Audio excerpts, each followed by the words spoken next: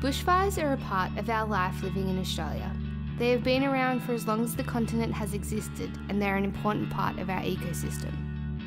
Australian Geographic says the most devastating fires are usually preceded by record high temperatures, low relative humidity, and strong winds, which create ideal conditions for the rapid spread of fire.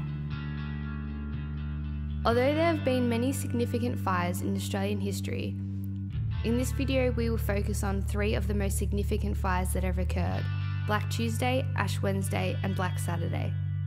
We gathered our information from sources such as Australian Geographic and the History Channel, where you can find more information if you would like to research this further.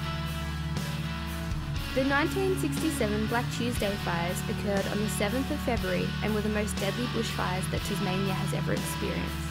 The fires destroyed 2,640 square kilometres of land in southern Tasmania within five hours.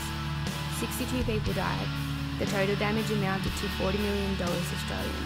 The Ash Wednesday bushfires were a series of fires in South Australia and Victoria on the 16th of February 1983. More than 180 fires caused widespread destruction across South Australia and Victoria in just 12 hours. In Victoria, 47 people died, and in South Australia, 28 died. Ash Wednesday was also one of Australia's costliest natural disasters after Black Saturday, costing over $400 million. Black Saturday was one of the worst natural disasters ever recorded in Australia. On Saturday, February 7, 2009, the Black Saturday bushfires ravaged much of the state of Victoria. Black Saturday killed 173 people, which is to date Australia's highest loss of life due to a bushfire.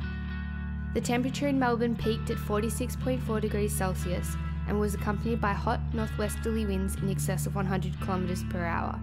In the state of Victoria, over 3,500 buildings were destroyed, over 2,029 houses. 78 townships were affected, some were completely wiped out. The Bushfire Royal Commission estimated the disaster suffered a loss of $4.4 billion.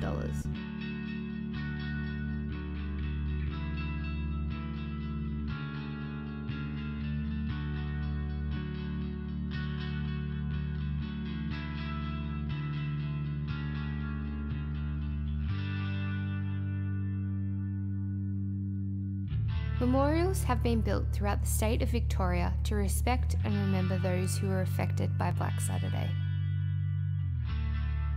Just as the metals are bonded through intense heat, so too are we bonded with our families now passed away, strengthened in our hearts. Their existence laminates every part of our being. How wonderful it is to still have you here within us.